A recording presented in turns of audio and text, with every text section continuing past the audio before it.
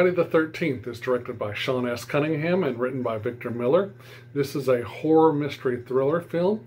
This film stars Adrienne King as Alice, Jeannine Taylor as Marcy, Robbie Morgan as Annie, Kevin Bacon as Jack, Harry Crosby as Bill, Laurie Bartram as Brenda, Mark Nelson as Ned, Pete Brouwer as Steve Christy, Rex Everhart as the truck driver, Ron Carroll as Sergeant Tierney, Ron Millkie as Officer Dorf, Walt Gorney as Crazy Ralph, Willie Adams as Barry, Deborah S. Hayes as Claudette, and Betsy Palmer as Mrs. Voorhees.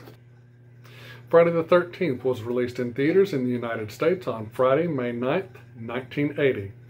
The film is rated R for sex and nudity, violence and gore, profanity, alcohol, drugs, and smoking, as well as frightening and intense images. The film has a runtime of 1 hour and 35 minutes. So in 1958, at Camp Crystal Lake, two camp counselors sneak inside a storage cabin to have sex where an unseen assailant murders them both. 22 years later, a local man by the name of Steve Christy is trying to get the place back into shape and open the camp back up for about 50 or so inner city kids who will be there later on. At the camp, the counselors begin arriving and start helping Steve Christy get the place ready to go. Everyone shows up except for Annie, who is the cook who never shows up to the camp. Ned Rubenstein, Jack Burrell, Bill Brown, Marcy Cunningham, Brenda Jones, and Alice Hardy, along with Steve Christy, continue working on getting things ready. As a thunderstorm approaches, Steve leaves the campground to go stock supplies. We later see Annie, who we see earlier in the film, in town hitch a ride with an unseen person who she thinks is taking her to the camp when that is not the case. Annie jumps out of the vehicle and tries to escape into the woods, but the unseen person catches up to Annie and kills her. As the weather gets bad, with the thunderstorm going on, the killer comes to the camp and slowly, one by one, kills off all the counselors, leaving only Alice alive. Alice hides inside one of the cabin and sees through the window a vehicle pull up outside. Alice is greeted by a middle-aged woman named Pamela Voorhees who claims to be an old friend of Steve Christy and his family. She appears calm and not scared as Alice tells her what's been going on. Her demeanor changes. She reveals that her son, Jason Voorhees, was the young boy who drowned in 1957, blaming his death on the counselors who were supposed to be watching him, but they instead were having sex.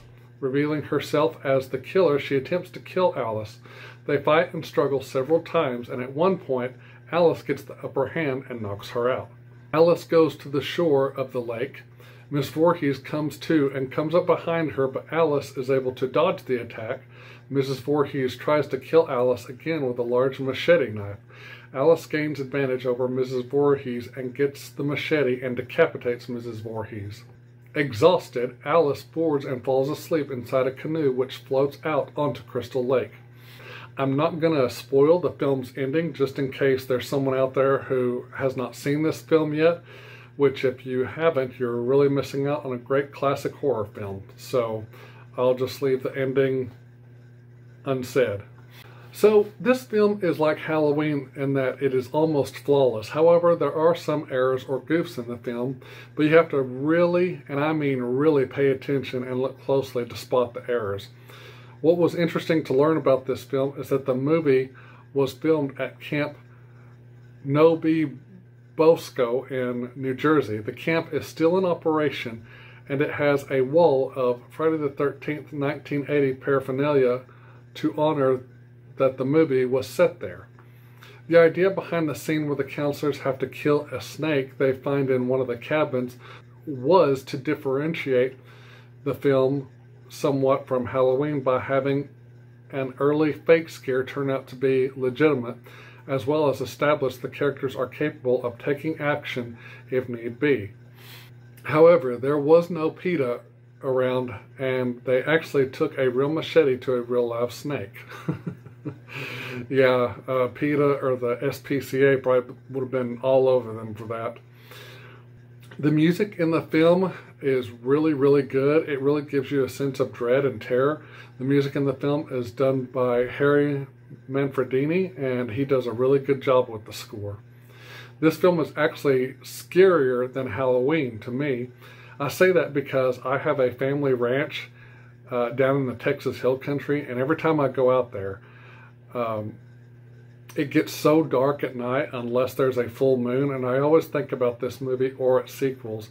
There's some other horror movies that i also think about as well when i'm out there but this is one of the main ones that i think about i mean at night it just gets so dark and so eerily creepy that it just freaks me out and i don't like to stay out there overnight or at night. So let's talk about my grade for this film my final grade for this film, I'm going to give it an A. This film really does a good job of um, setting the tone. And like I said, this film is, is almost flawless. The acting is really good. It's corny at times, but most uh, most of the film it's really good. Uh, I really liked Betsy Palmer's portrayal as Mrs. Voorhees. Uh, you really believe that she's gone nuts and that her son is you know, kind of telepathically speaking to her to say, you know, avenge me, mommy, you know, kill all these counselors for me. The film is just, it gives you that sense of creepiness, you know, that, you know, you're, you're not alone out there, that, that something, something or someone else is out there um, trying to make you freak out. But all in all, I enjoy this film.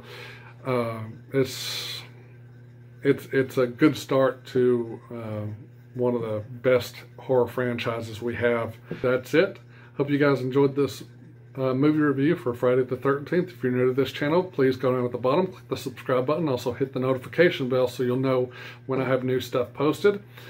Also, be sure to give me a thumbs up like on this video and give me some comments. Thank you so much for watching. I love you guys. God bless, and I'll see you in the next video. Bye-bye.